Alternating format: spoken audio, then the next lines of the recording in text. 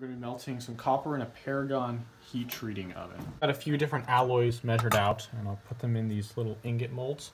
First I'll preheat the crucible. I'm going to set it to 2000 degrees Fahrenheit. 20 minutes will be just fine.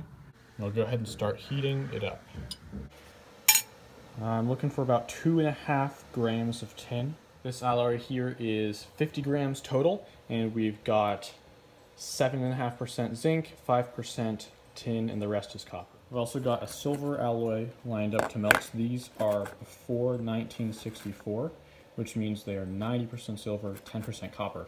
I'll be adding a little bit more copper to that alloy. It's just about up to temp, so I'll go ahead and drop some metal in.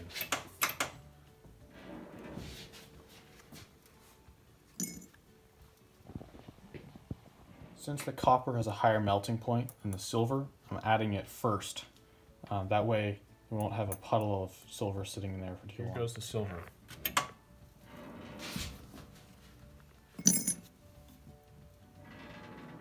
Well, it's surpassed the melt point of copper.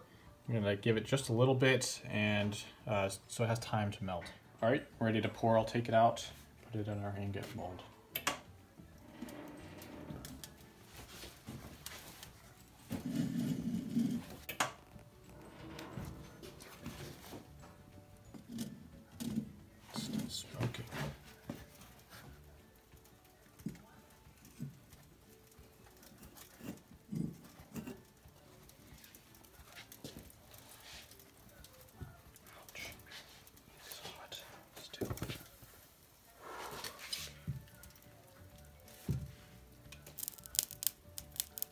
Now we'll let this cool off.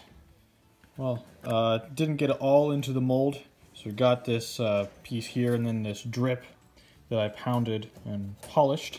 Um, what's cool here though, we see the black oxide, um, and then underneath it's kind of rosy pink layer. Um, but then, so this little part that I hammered square and then polished the surface, you can see it's got a little bit of a bronzy color to it. Here it is next to some other alloys I've made with combinations of zinc, tin, nickel, and copper. Um, this one has a really, um, really noticeable, almost pink rosy color to it compared to a lot of the other ones that are very yellow. This is um, almost pink looking. Something else different about this alloy here is it's a lot softer. The ones with the zinc and the tin, nickel and all that um, are more bronze-like and they are pretty hard and difficult to cold work. This um, is cold and I just pounded it into that shape, no problem. Um, but some of these will crack if you try, try to bend them too much. So I like the softness and the malleability that this gives me. And here it is beside uh, sterling silver you can see a little bit more coloration in it.